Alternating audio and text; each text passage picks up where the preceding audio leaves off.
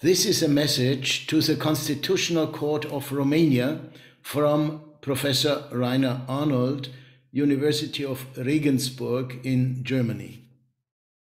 Dear Mr. President of the Constitutional Court, dear judges, ladies and gentlemen, on the occasion of the 30th anniversary of the Constitutional Court of Romania, I would like to congratulate very warmly and express my highest esteem for this court.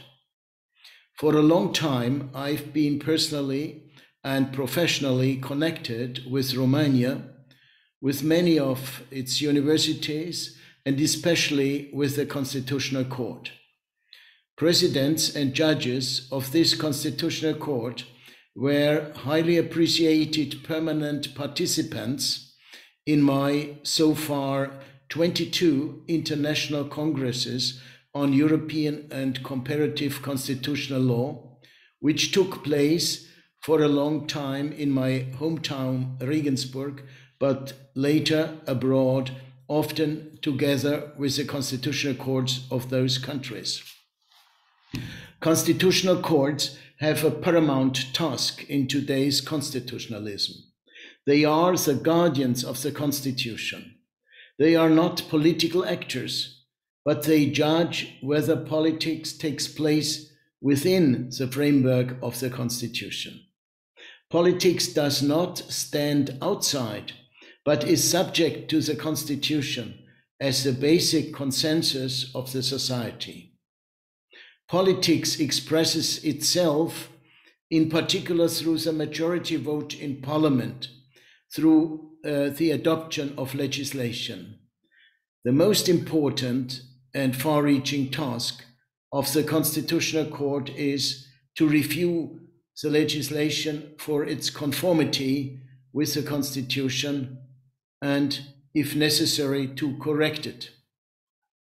Legislation, law, that means politics and other forms of politics must remain within the limits set by the Constitution. The space of politics and the space of constitutional law are two different spaces, complementary to each other.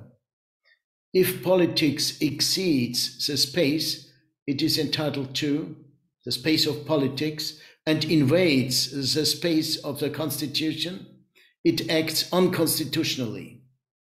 The Constitutional Court has a task of correction this correction is not political action, but it is restoration of conformity of policy with the Constitution intended by the Constitution.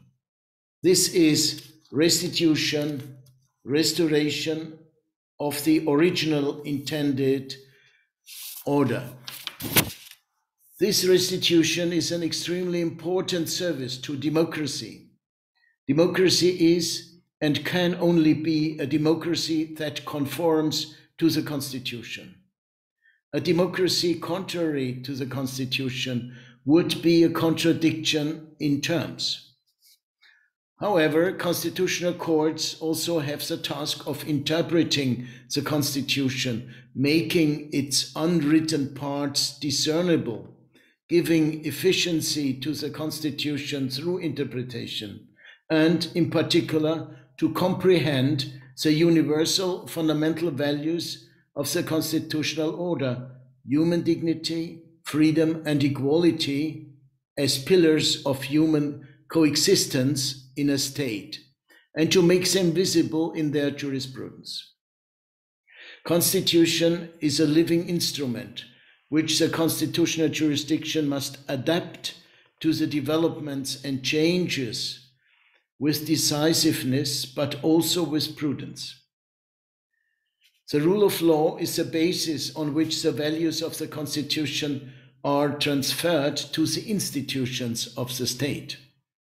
Constitutional jurisdiction is an essential instrument of the rule of law since it ensures judicially the respect for constitutional values by the state. Moreover, constitutional courts must supervise the institutional balance of powers in the state intended by the Constitution, which is a requirement of the freedom oriented rule of law. The constitutional courts must draw attention to and correct de facto shifts of powers that could disturb this balance.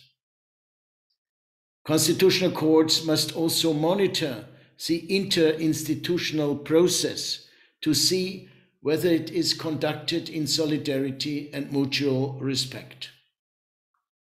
Finally, it is important to point out a function of constitutional jurisdiction that is becoming increasingly important in today's world.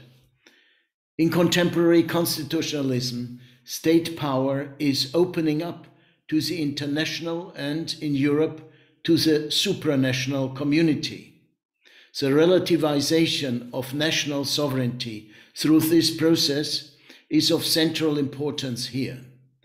The embedding of the Constitution in the European Convention on Human Rights and the constitutional acceptance of the structural elements of supranationality, uh, such as um, the direct effect and the primacy of uh, the supranational law, has to be given due consideration by the constitutional courts.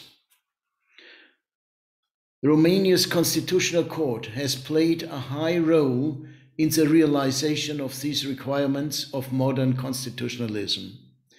During the 30 years of its existence, it has contributed significantly to the consolidation of the new constitution. The transformation achievements of the Constitutional Court in the post communist period are of utmost importance. For this, the Constitutional Court of Romania is highly appreciated.